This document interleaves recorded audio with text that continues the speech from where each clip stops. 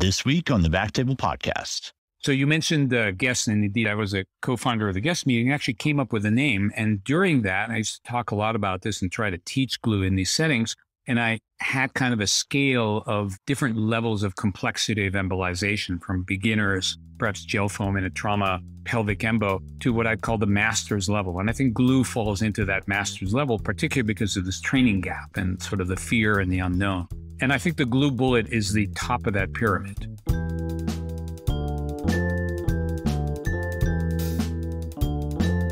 Welcome to the Back Table Podcast, your source for all things interventional and endovascular. You can find all previous episodes of our podcast on iTunes, Spotify, and on backtable.com. Before we dive into our topic today, just want to say a quick word from our sponsor, RadPad. RadPad radiation protection products, developed by physicians for physicians and clinically proven to protect during cine and digital subtraction angiography. Don't bet your health on anything less. Trust RadPad protection for all your interventions. See radpad.com for more information and contact info at radpad.com to learn more about radiation safety CME credits for you and your team. This is Dr. Ali Baheti as your host this week, coming to you from Tacoma, Washington. And I'm very excited to introduce my special guest, Dr. Ziv Haskal. Welcome. Thank you, Ali. Really happy to be here. Dr. Haskal is a tenured professor of interventional radiology at the University of Virginia. His accomplishments include being the two term emeritus editor of JVIR, Additionally, Dr. Haskal co founded the GEST Conference on Embolization, which brings us to our topic for the day. We have a very sticky subject for today the use of glue in peripheral applications. Dr. Haskal, could you give us an introduction to glue? Sure. Glue is incredibly common outside of the US for interventional radiologists. It's a slightly different formulation than what we have, and it's uh, widely taught widely used, uh, but we've got a challenge for your US North American users, which is it's been approved for use in the US since the year 2000, but basically just for intracranial aneurysm use. So we have an agent that I know we'll talk about because I am a big fan of it. I use it in almost any occasion that makes sense to me, which is approved for use in humans, but does not have peripheral applications and as US practitioners, we're allowed to use things like that wherever we deem medically appropriate, but off label use prevents a manufacturer from coming in and training people in peripheral use of glue. So we have this quandary of this difficult to use agent, can't get trained on it. Ah, that makes a lot more sense now why everybody talks about how you have to be trained in glue to use it, but it's also really hard to get training unless you used it in your residency or fellowship. So, could you help me understand some of the indications for glue embolization?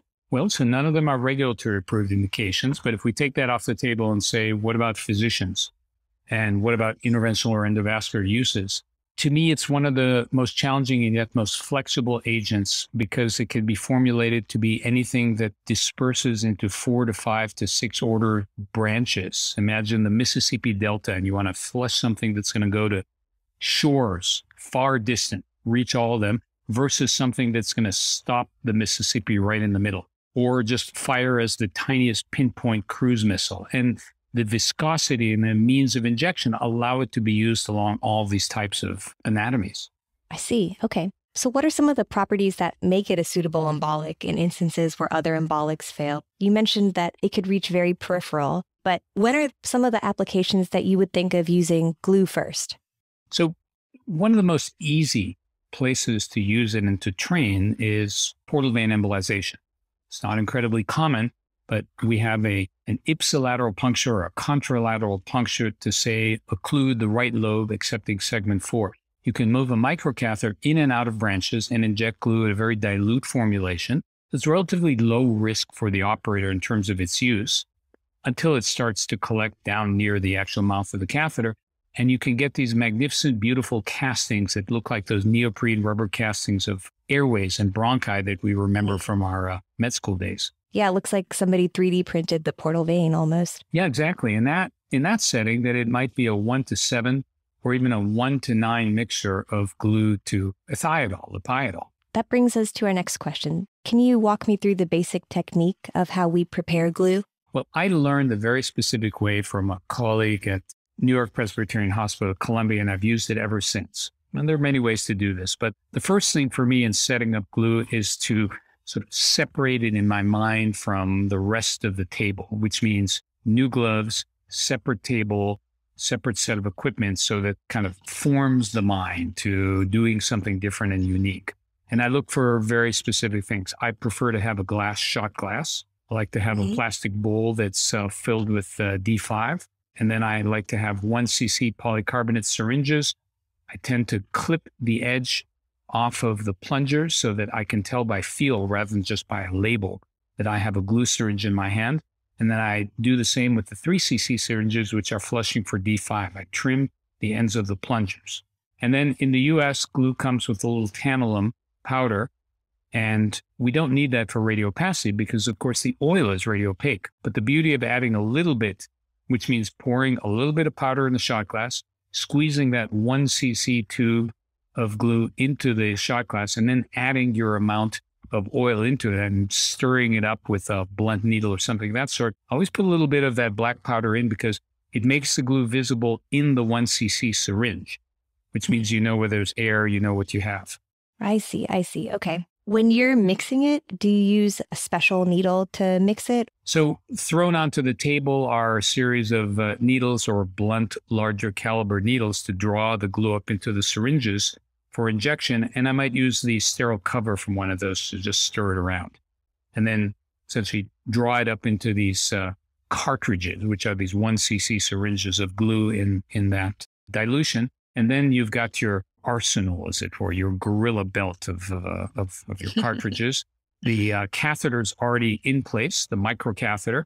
The anatomy is figured out. We have a strategy for, if necessary, a rather rapid and sometimes overly dramatic removal of the gluing microcatheter from the uh, base catheter. And then at that point, on a new sterile cloth on the patient, I'll bring over those syringes and begin flushing with the uh, dextrose solution to clear the base catheter. And during that flushing, it's a good time to sort of think about what's flow like. Am I ready? Do I know the rate of injection? And then at one point, when you're ready, you disconnect that, make a water to water connection between D5 and the glue, and begin injecting. Okay. Any tips on the injection technique? Well, certainly dead space of the catheter. So I remember the dead space of one particular catheter that's 0.34, and then I kind of measure up from there. Some of the larger high flow catheters we typically use are closer to 0.7 or so. So that's going to be space of glue that's going to be injected before we see it emerging from the catheter. So got to count if you're using, say, a 0.027 or 0.028 inch catheter, that that one cc syringe of glue is going to result in only the tiniest amount coming out, which means having more syringes ready if the dilution is appropriate, or having chosen the smaller gauge microcatheter so that you're not filling half of your catheter with just glue and then having to think about how to get that out. Push it with more glue or push it as a sandwich with D5. So these are the kinds of things that occur. And then during the action injection, as you asked, the D5 is not radiopaque, so the catheter will be clear. The glue is radiopaque, so at that dead space, you'll start to see the catheter darken. And then it's just a matter of tailoring to the anatomy and this is the tricky part that's probably worth spending a little bit of time on on what happens next.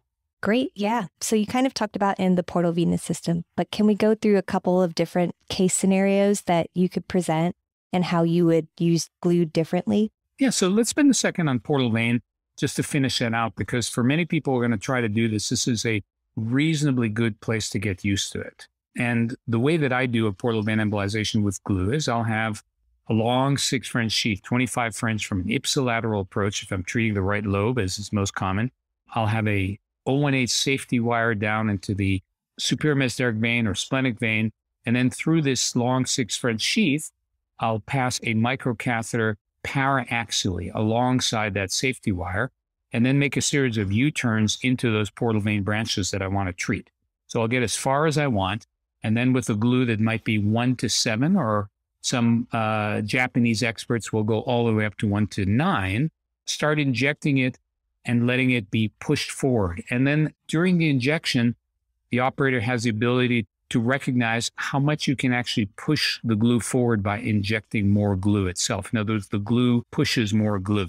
And then the important thing to remember is as it's starting to kind of drift back toward the catheter, that at some point, this stuff is going to solidify and you might actually begin to encompass your catheter. This is not onyx, so the, the catheter has to come out beforehand. The likelihood, and everybody's biggest fear, is that catheter is going to be stuck in a portal yeah. vein near zero because this stuff doesn't set that quickly. But it's more a matter of having it reflux into, say, the segment four branch where you might not want to have it go. I understand. Okay, so the working in the portal venous system, when you start very peripherally, you're able to kind of gauge how the glue is going to act, and that'll lead you to use it in, in other circumstances. So, in that portal vein, if you're getting slick, then you can start deeper in and more peripheral, draw the catheter back during the injection. And then, if you're really slick, you plan to drop into another branch and you can actually flush it with D5 and potentially advance it even without a guide wire into the next branch. If you're doing that, then you're moving toward sort of F1 level of uh, training because you can clean and Excellent. flush. A completely different application and a very important application of glue is coagulopathic patients. We've all had these patients that we know are bleeding. We know that they're perhaps multi trauma patients or liver patients. Maybe it's a biopsy bleed and coils are going to look good, but then just a few platelets drop off with that uh, progressive coagulopathy and it's going to recanalize. So having something that is completely occlusive in that setting is a really good application for glue. So then the question is, you're trying to land it on a dot, like a parachute. I used to be an active skydiver doing a precision landing where landing in a dish of pea-sized gravel, the pros land with their tiptoe, that kind of accuracy.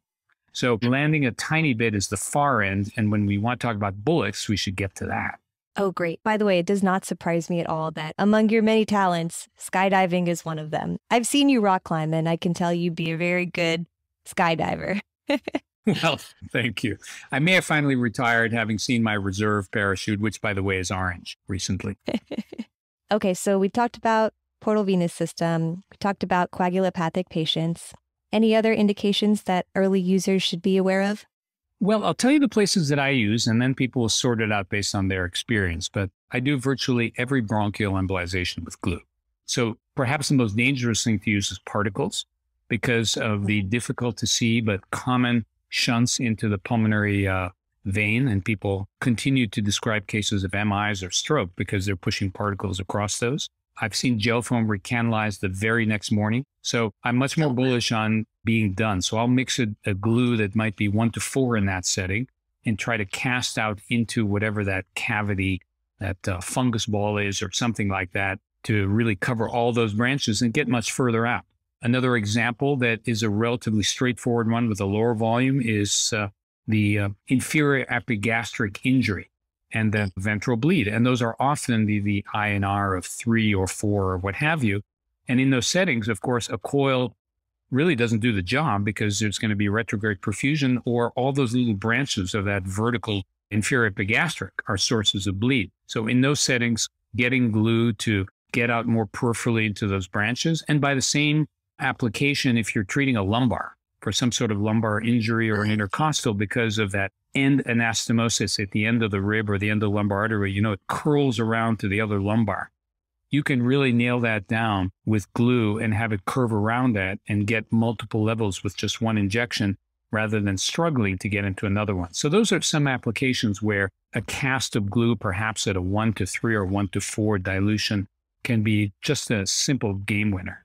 How much do you typically inject in those scenarios? So bronchial is like uh, lumbar is like rib in terms of vessel size and length, which means it's probably under a cc and a half, which means a single ampule of glue in that one to four dilution, plenty.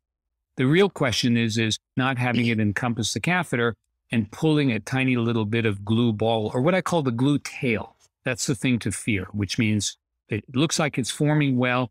You don't realize that it's slightly solidifying around the catheter, not to stick it in place, but slightly. And then when you draw the microcatheter back, it pulls a little bit of glue back. So it's very important to be able to strip that off. So perhaps an image to paint in listeners' minds if you've got your Mikaelsson catheter in the bronchial artery, or you've got your Simmons or your uh, SOS or your Cobra catheter in the mouth of the lumbar artery, and the microcatheter a fair ways out from that if you have the misfortune of that little glue tail coming back on the microcatheter, you want to know that your base catheter is stable enough so that when you pull the microcatheter against it, it'll strip it off and leave it behind in the target vessel. That's an important skill. That's the dramatic ripping out of the microcatheter to shear off that glue tail, correct? Or in that setting, it might be a little bit slower as you want to control it. But, you know, being aware means you're in that moment and you can make that decision. Yes. All right. We've talked about kind of lumbars, coagulopathic patients, portal vein embolizations. I do remember using it with you during fellowship, and this might be a good time to talk about the glue bullet, where we used it for renal pseudoaneurysm. Can you walk me through the glue bullet? So you mentioned uh, guests, and indeed, I was a co-founder of the GEST meeting. Actually, came up with a name, and during that, I used to talk a lot about this and try to teach glue in these settings. And I had kind of a scale of different levels of complexity of embolization from beginners, perhaps gel foam in a trauma pelvic embo, to what I'd call the master's level. And I think glue falls into that master's level, particularly because of this training gap and sort of the fear and the unknown. And I think the glue bullet is the top of that pyramid. And the glue bullet basically is a one cc syringe in which, which you vertically load uh, the majority of it with D5.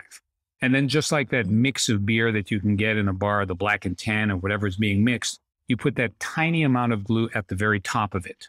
How much glue? Like 0.1 cc? The amount that you think is your is your embolic. It might be 0.1 if it's a longer area, but what kind of caliber bullet would you like? If it's a distal SMA branch and we're trying to take out something at a vasa recta, then it's not going to be any more than 0.1. It's just that. And then you've got to hold it vertically and be prepared to quickly move to the microcatheter and then inject it. And this is injecting a tiny rocket of glue. This is the nose cone on a missile of D5 that's being pushed to that point. So I did this with one of our fellows about a year and a half ago, very skilled. And I said, now understand that, you know, I trust you. This is a really challenging thing. And we're going to do the most delicate use of glue. So I'm going to load it for you. We're going to bring it and you're just injecting this amount and that's it. And that fellow took that syringe, held it carefully, and then injected nearly the entire one cc syringe.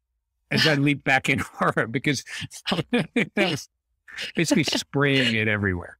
What's the proper way to inject a glue bullet? Like you're pushing a coil of a fixed length. Mm, okay. And not firing the entire following four centimeters of delivery catheter behind the detachable coil out into it and kicking back. You're just pushing out that little bullet. And this really lets you drop a spot of glue into one spot. It's incredibly effective. It's also a way to finish off a coil where the patient may be coagulopathic. You're running out of ground by backing up and, it, and it's just not occluding.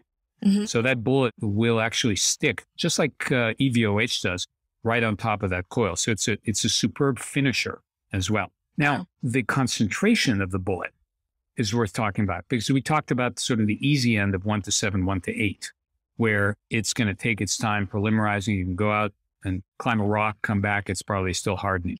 The bullet may be two to one oil to glue or okay. one to one oil to glue. Or if you're really at the pro level, it's two glue, one oil. Whoa. Okay. Now you're blowing my mind here. More glue than oil. Okay. All right. that is the, that, that is, dare I say, the crux of glue, which is a, a, a two to one glue to oil bullet. And then All you're right. basically just okay. stamping out that spot. That you're putting out that cigarette right in that spot. How do you decide the concentration of the glue bullet? It's any of those ranges. But I think it's important to understand that it's got to be more dense and that we're delivering a tiny particulate of glue, if you will, basically a, an immediately occlusive embolic, and we want it to stay where we drop it, which means one to one or two glue to one oil. But if people are going to try this, I'd say working with one to one is the place to be. And again, find a place to practice. Yeah. Other than Portal Venous, any other suggestions of where we could kind of start incorporating this? A great place to practice a bullet is exactly like you said, Portal Venous. Another great place to practice a bullet is any of the other types of applications where we said you might burn another microcatheter by mm-hmm. using that and having to regain purchase, but you're not going to harm the patient, uh, assuming that you can get access again, that that's also very secure. Maybe the microcatheter is only one centimeter beyond the base catheter or something of that sort. Um, but there are a lot of applications where this can be safely done. It may be advantageous to that patient, and it also provides that base of experience because we always say that you want to practice and get good in the non-critical situations. So when it's really game on, that skill is there. That is such a good teaching point. You cannot ever let an opportunity to practice fly by. Those are few and far between sometimes. Well, anything else we should know about the glue bullet before we move on? This really shows up the value of the uh, the bit of the black powder, and you might add a little bit more so you can see it on top of it, sitting on top of it. The thicker the glue, the less likely it's going to dissolve and start to descend into the into the oil. And if you're listeners in Europe, it's going to be uh, blue glue, which is a, I- a very attractive robin's egg color on top of your D5. That is great. Okay, so they don't use tantalum powder. What do they use? Uh, the most common brand is uh, Italian origin, made by Glubran, though there are other manufacturers as well. Many years ago, I spent a fair bit of time trying to help them make a regulatory submission actually into the US. And ironically, years before that, with the manufact with the people who sell the only glue available in the US, spent a fair bit of time working on a regulatory approach to try to get a peripheral application. So I put a lot of work behind trying to get this, but it's always stopped because this is a frank de novo application. It's a new application. It's a very long and the most difficult and costly regulatory process. And the incentive for manufacturers or for people who sell this is frankly pretty low in the US, as I've learned through both of these cycles. So the only way that we're going to use glue is the type of thing that we're doing here and seeking ways where you can either apprentice or use it in the safe applications and build your experience. Well, I mean, you've mentioned you've given some courses at GEST where you teach folks how to use this, kind of the master level course for embolization. Are there any other opportunities you can think of for either practicing young IRs or trainees to get their hands on this? Gosh, I wish there was. I was never incredibly satisfied with what we used to do at GEST with boxes and models and things like that because I thought it really simply did not prepare people for what they had to do. I think the best thing is is to find someone where you can apprentice, where you can drop in a case or two and just get some of that standardization of how to set it up, how to have a setup that's easy for you, and at least see one or two cases. And I think for an for an experienced interventional radiologist who hasn't used glue, that and then the simplest uh, use scenario is within their grasp. Yeah. What are some of the complications that you've encountered with glue? Well, excessive embolization, and the biggest risk, of course, in something like an end organ supply, like a, a distal SMA, where I might be using the smallest caliber of microcoil, trying to do the equivalent of a surgical clip, basically, mm-hmm. to a blood vessel that a surgeon could never find. They'll take out a foot instead. Then this is the kind of way that glue has to be applied. But if it spills into a larger arcade, then we've got an ischemic segment that's going to be a surgical excision. I've seen that once as a glue complication for sure. There are papers specifically on SMA use that were published in the JVIR from Korea and from Europe that describe this use. But again, those are expert hands. So that's the place to move toward. But I'll use it a lot in AVMs, in high flow AVMs, particularly ones that are more superficial, where the use of EVOH may actually be palpable. People would feel it through their skin. Mm-hmm. And in the worst case, may actually be visible in thin skinned people. Oh, yeah. So for high flow AVMs that aren't necessarily ones where, say, a 50% alcohol solution might be the approach, as we've been taught by Dr. Do, one of the world's experts in AVMs, then glue's my stock in trade. And there it's a matter of what's the flow, what's the dilution. But over embolization and downstream spillage into non target territory, there you go. Okay. And then we've talked a little bit about having your microcatheter stuck in your glue ball. What do you do when that happens? I've never had it happen. Okay, good. I've had situations where I've pulled a little bit harder and captured those on fluoro, and those make a strong impression on people. But I've never pulled it to the point where I thought we're approaching the tensile breakage point of a microcatheter, or I wish I had a breakable tip microcatheter that is a neuro application or something like that. So I'm thinking about that a lot during the case, and hopefully I won't see that. I see. Any lesser known complications of glue that we might encounter when we're starting to use it? Well, if you don't have a prescribed method to empty it into, say, a shot glass, or you use, or you try to go from the little tube into a syringe with a little uh, Mhm. syringe to syringe connector, which is possible. I know one situation where somebody actually did that. This connection wasn't tight, and they got a spray and uh, then an ophthalmology visit. Oh my. so you hadn't thought that I'd give you an operator uh, uh, risk, but yes, this is glue just like the old uh, commercials where the guy would uh, stick his helmet to uh, a construction helmet to a board and then hang underneath crazy glue. There you go. Glue, occupational hazard. You heard it here first. exactly. Uh, anything else?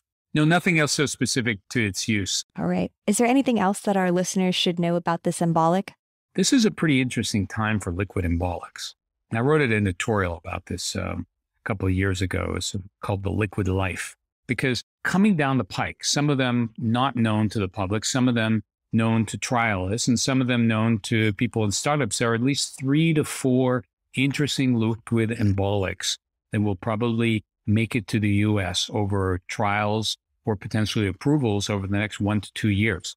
And they're all very interesting and very different from each other. And the goal is to have peripheral use applications. And they've all got very different characteristics and they may be somewhat adhesive, but for the most part, they're cohesive. They stick to themselves and not necessarily stick to the blood vessel, which is one of the principal characteristics of glue and also one of its advantages in the right setting. But these things can be injected akin to EVOH, or they may be pastier, or they may behave like long coils, and a variety of other types of formulations. So it's going to be very, very interesting. And uh, so, but I don't think it's going to replace the value of glue for me. Can you think of another application for glue that would be useful for our listeners? Type 2 endoleaks sac puncture. Direct puncture of the sac with embolization. I know traditionally I, um, I've been using Onyx for those, but can you help me understand why glue might be better? So a very common approach in which that might be a five or six and a half inch outer catheter with or without a sheath and the base catheter and perhaps something to swim around it. And then the onyx is delivered through that. And you've got that hole. When I do a glue type 2 endoleak, then that may be in a CT room or it may be in a cone beam room where there's fluoro, but some combination of those. I'll do the entire case through a 21 gauge needle. I see. And that's incredibly cool, which means basically stick the sac, cone beam yourself down into it if you don't have CT access, and that's fine. And then this is where there's an advantage to cone because you immediately have fluoro. And then secure the needle in your hand so it doesn't move in and out of the sac. And glue mm-hmm. can be injected. And with the, a suitable concentration, which might be one to four, occasionally one to five, you can distribute tremendous amounts of glue that'll just pour throughout the sac and cast very large areas. So these are large volumes of glue might be three cc's, might be 12 cc's of dilated glue. Oh, wow. And then it's just a needle that comes right out. So you don't have any trouble with directability? Like you don't feel like all the glue just drops into one part of the sac? It disperses really well? So it's a really important point, which is can you pick the spot where you think the leak is from? And again, if you can target that entry site to say, I suspect that it's going to be perhaps this lumbar, which may be isolated, and I prefer to do it transsac, or I've tried to go transarterial and it's a hike up a hill that can't be done, then there are reasons to suspect perhaps one area. So I'll try to puncture as close as possible. And then it becomes very straightforward to envelop the area, ideally locally with glue. But the idea that glue is going to fill an entire sac and glue it solid, it's never going to be that case. Sure. Well, I mean, 12 cc's, you never know, right? Yeah, and there's some great papers on this as well. So it's not just the two of us talking. There's uh, at least one paper in JVIR on the use of glue for uh, addressing a type 2 endoleak in that exact way that readers can look to. For our listeners, we'll link to a lot of these texts that Dr. Haskal has mentioned in the show notes, so you can keep an eye out for those. Okay, well, great. Do you have any final thoughts for our listeners about how they can incorporate glue into their practice? I think this has been a fabulous conversation because of the challenges of getting training unless you can seek or have been in an apprenticeship situation. It's a really valuable tool, and yet there's a gap in trying to use it, and there's tremendous fear. But we hit a lot of the great sort of places where you can use it from the large volume dilute in the portal vein, great training place. Heavy AVM high flow users are going to be able to use glue, trauma situations or hypocoagulable patients, such as the retroperitoneal hemorrhage or the liver patient with a bleed. Those kinds of things are a great place. And then moving up that ladder to that most exotic, dropping a little point, almost like a, a focal glue coil. are really good ways to think about how you can incorporate it in your practice. Great. What are some of the challenges of bringing glue into these smaller practices? Well, unfortunately, because it's a neuro labeled product, again, for 22 years in the US, it comes at a very high price. So there may be resistance to getting it stocked in a lab that may have a limited budget for uh, implantables and uh, single use materials like embolics. The other challenge is that there may be resistance to bringing it into places where there isn't neurointerventional because it's strictly speaking, it's labeled just for neuro, and that may be a challenge to get over. Now, there's plenty of literature, for example, for portal vein embolization that shows not only advantage, but superiority of glue over other agents. So you can use these kinds of things to argue why this is best for patients in these applications if it isn't available to you. But we have to acknowledge that that may be an issue for some people. Absolutely, absolutely. Cost is on the mind of most hospital systems these days. So th- thank you for pointing that out. All right, Dr. Haskal, it's been such a pleasure to talk to you. I often in my practice get asked, Have you ever done that? And I often say, I've done it once with Dr. Haskal. so uh, I, I hold my training with you near and dear to my heart. Thank you for being a guest on our show today. Dr. Baheti, it's a tremendous pleasure. And in return, I'll tell you that I've rarely seen a more gracile climber than you. Thank you again for having me.